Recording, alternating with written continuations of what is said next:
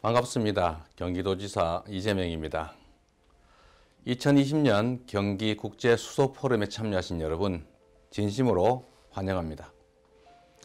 산업혁명 이래로 급속한 발전에 비례해서 환경오염이 격심해지고 있습니다. 이대로라면 기후위기로 모두 공멸할지도 모릅니다. 환경을 생각하는 지속 가능한 발전이 그래서 절실합니다. 미래를 위한 새로운 대안으로 수소 에너지가 떠오르고 있습니다.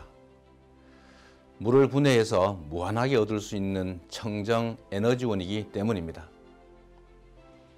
이번 포럼이 국내 수소산업 생태계 조성에 기여해서 대한민국의 에너지 패러다임을 바꾸는 좋은 계기가 되길 바랍니다.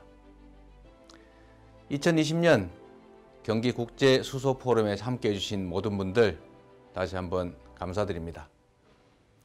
앞으로도 우리 경기도는 수소산업 육성을 지원해서 기후위기에 대응하고 지속 가능한 발전을 열심히 이끌어 가겠습니다. 고맙습니다.